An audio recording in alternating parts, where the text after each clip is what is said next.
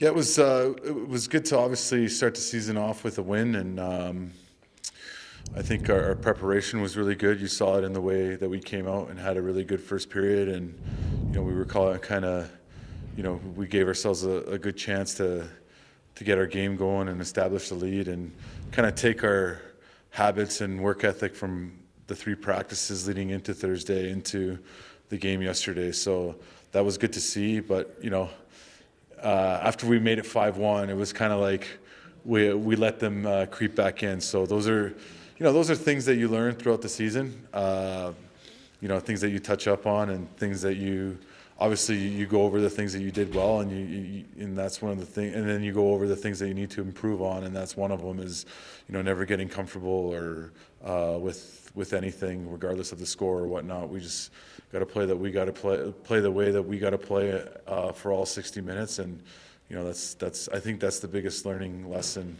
uh, taken away from last night. It's a new team and a new year, but what are the challenges in finding that balance between forgetting about what happened against the Oilers last postseason and remembering just enough to use it to your advantage? Yeah, I think I think you, you said it perfectly there. It's it's it's a fine line of of not letting the emotions of last year get the better of you and uh, and and turning the page and you know moving on to uh, a new year, a new season, a new rivalry, new, new faces in the rivalry now, and, and, all that type of stuff. So uh, regardless of the fact, uh, you know it is a you know Battle of Alberta game, big rivalry game, game that means a lot. Both teams are are are are expected to do well this year. So I think that just adds to to the rivalry and uh, should make for a really good Saturday night game. Is, is there anything much more important in the change of this team um, than how deep you are now down the middle of the rink at center and the options that that gives you? Yeah, that's huge. You know, uh, being deep in the center position is is is obviously really important. You look at all the elite teams in the league. That's you know they're they're deep in in that position, and you look at the teams in the past that have won. You know they've they've had centermen, and and for the most part, you know the guy that carries the play and has the puck on his stick is is the centerman, and uh, and yeah. So when you're deep in that position, it's it's it's a confident feeling going into every game, and uh, as a winger, it don't matter who you're playing with. You know you're playing with a good center, centerman, and, and that gives us a lot of confidence. What uh, did you see Kadri's Stanley Cup ring?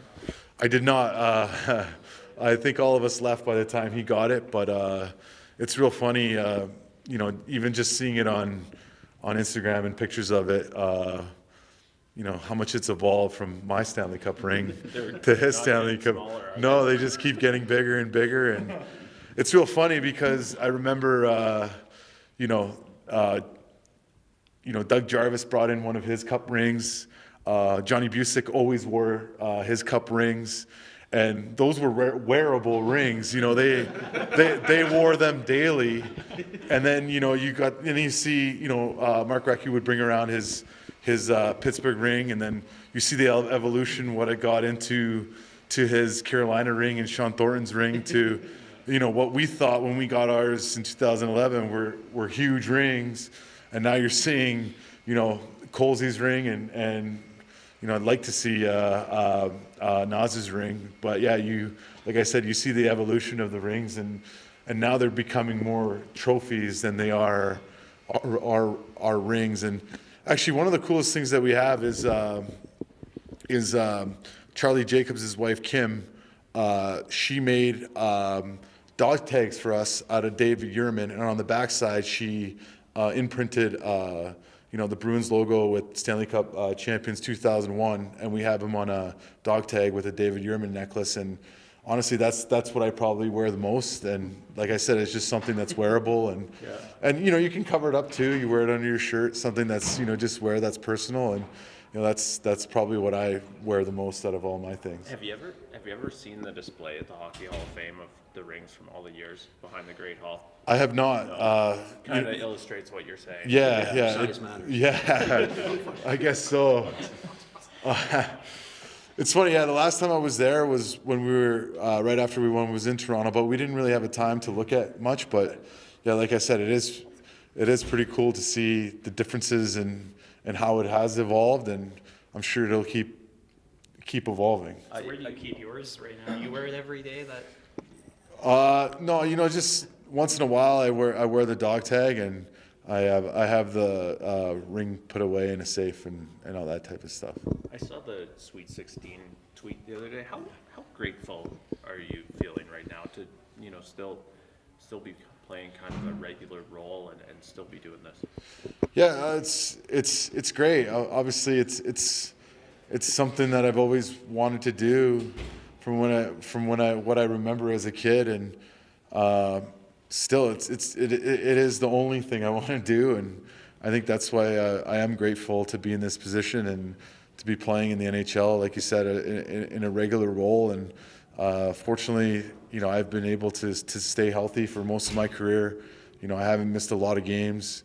Um, you know, coming to the rink every day with a great group of guys, you know, it makes it a lot of fun, and that's something, you know, that's that's something that I wanted to, you know, work on this summer as well. as, you know, just kind of the mental approach of it. You know, being grateful, being humble, and you know, look forward to it, and, and being happy. And I think that's why I took time away and, and went on trips and and spent time with the family and all that type of stuff. Because you know, when you when you kind of sit back and look at it all and and put it in perspective, you are, you know, you are lucky to to live the life that you do and get to.